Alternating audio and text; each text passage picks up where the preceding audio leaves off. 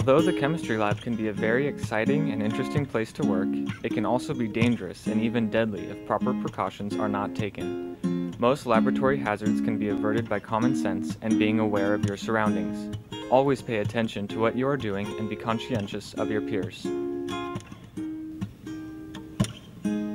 Since your eyes are such a valuable and vulnerable part of your body, protecting them is very important, especially while working in conditions and with chemicals that could cause permanent damage.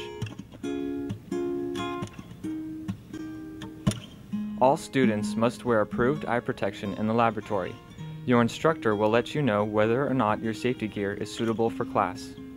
Safety goggles that fit to form a seal around your eyes give excellent protection.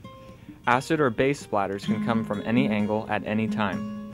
You may not be performing an experiment, but your neighbors may be. Eyeglasses do not provide protection, so wear adequate protection over them. If you wear contact lenses, make this apparent to others around you by the use of a small piece of red tape on the side of your goggles. Do not wear goggles on top of your head or around your neck because this gives you no protection for your eyes at all.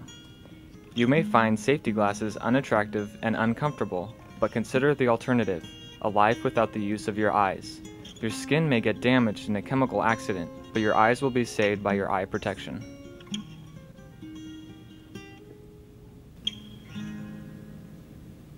You should come to lab wearing proper clothing.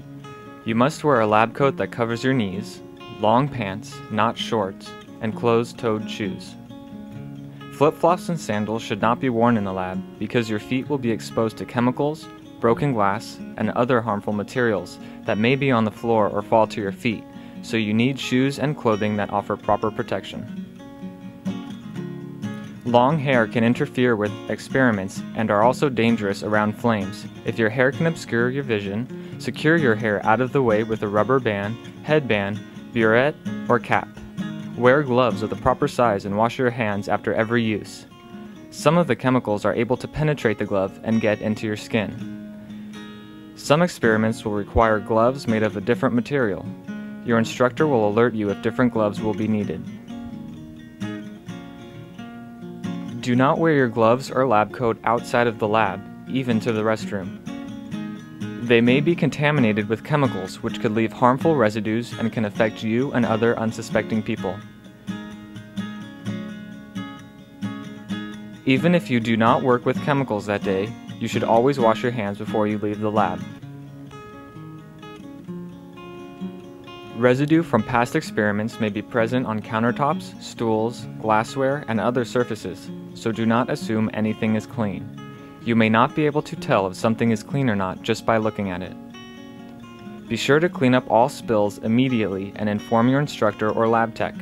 If you have an acid spill, use sodium bicarbonate or baking soda to neutralize it. Wipe all surfaces down thoroughly before leaving your work area.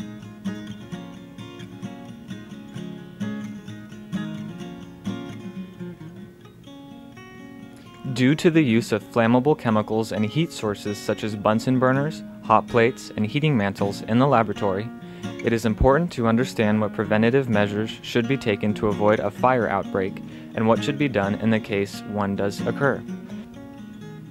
In order to avoid injury from laboratory fires, always wear snug-fitting clothing and lab coats when working in the lab.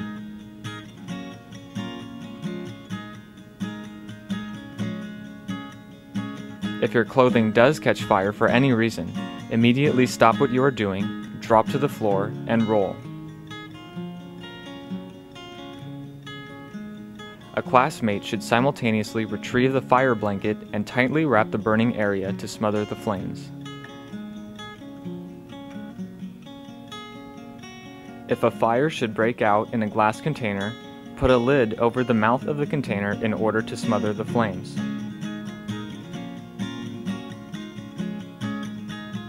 If a fire breaks out in the laboratory and it is safe to do so, retrieve the fire extinguisher from its location in the front of the lab. Remove the pin and slowly depress the handle while aiming at the base of a fire.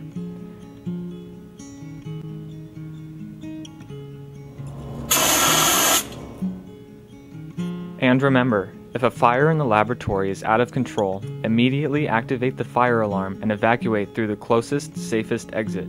If any fire breaks out during the lab, make sure your instructor is notified immediately. Hoods should be used whenever volatile, hazardous, or odorous chemicals are being used. It is always safe to use a fume hood when there is any doubt. The fume hood is not a substitute for personal protective equipment. Goggles, a lab coat, and gloves should be worn when you are working with hazardous chemicals. The window sash should be lowered to the appropriate height in case there is any leaking gas, splash, or even explosion. Always remember chemicals are very dangerous. This is why we always use safety tools to protect us. Because accidents can happen at any time in the lab, it is important to know where the shower and eye wash stations are located. In the case of a chemical burn or spill, the burned area should be flushed with cold water for at least 5 minutes.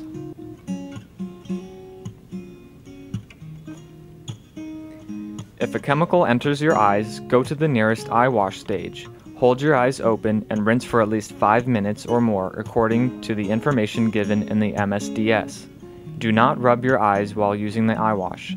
Contact lenses do not need to be removed. If a chemical is splashed or spilled on a large portion of your body, the emergency shower should be used. Remove any clothing affected by the spill. Remember, your safety comes before modesty.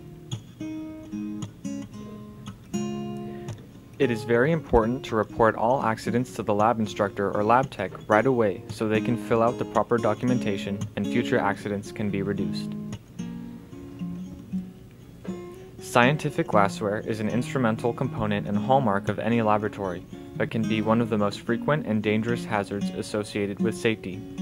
Lab glassware is not like glass at home, which breaks with relatively blunt edges. It is made from borosilicate glass, which is so rigid that once broken, shears down to the molecule, making it one of the sharpest edges you will ever find. Not only can the broken glassware cut you severely, but your skin and bloodstream are now exposed to whatever was in your flask. Broken glassware should be swept up with a dustpan and broom, never picked up directly with your fingers and hands.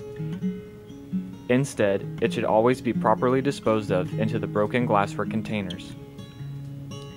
If glassware is broken, immediately inform your instructor.